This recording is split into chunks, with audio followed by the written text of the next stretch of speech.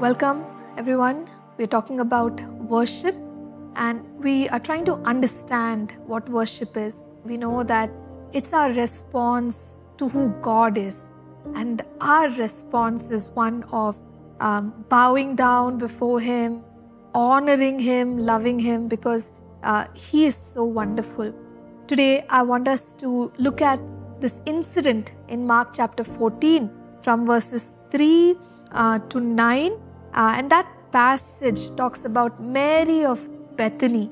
Mary of Bethany, who at the house of Simon the leper, you know, Jesus was there, and this woman, she took an alabaster flask uh, uh which had a very costly oil of spikenard. And, you know, we, we read the rest of that uh, incident there that she uh, broke the flask, poured it on his head, and then, you know, there was a certain response from the people around her. So, this passage, what does it teach us about worship? So, this is Mary's worship. She recognizes that Jesus uh, is, is God, she recognizes that He is Lord, and she finds the best way uh, she knows to express her honor for Jesus. Uh, and we see that she brings the spikenard and from what we learn, a spikenard uh, in those times, it was more like an uh, heirloom in, in families. It was even passed on from generation to generation uh, because it was so expensive.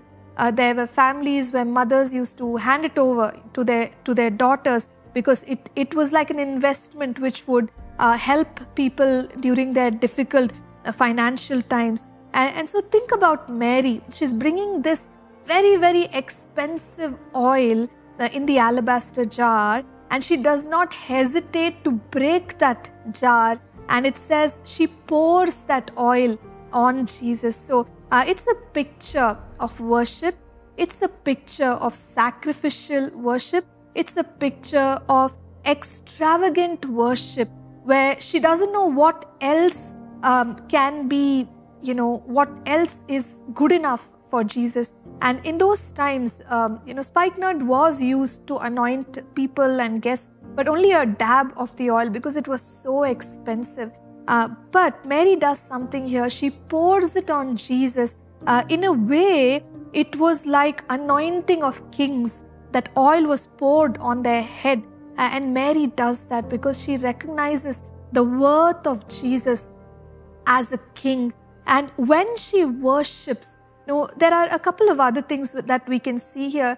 It was very quiet. She did not try to uh, um, to um, make make a noise about it, or uh, she did not want people to see it and applaud her. It was a very personal act of worship, very uh, quiet, and and she just wanted to anoint him and nothing more than that to express her worship. So uh, it shows us, you know, how worship, our worship can be personal, how it can uh, recognize the, the worth and value of our God, and uh, you know how it can be so precious. But we also notice that when Mary worshipped in this way, there was criticism. You know, there were uh, people around her, particularly Judas, who criticized her about how she had wasted uh, expensive oil. But you know, he had his own vested interest uh, in that, his own um, uh, selfish motives. But here was Mary. You know, none of that bothered her. Uh, it was her personal worship, and she, it says, poured it out.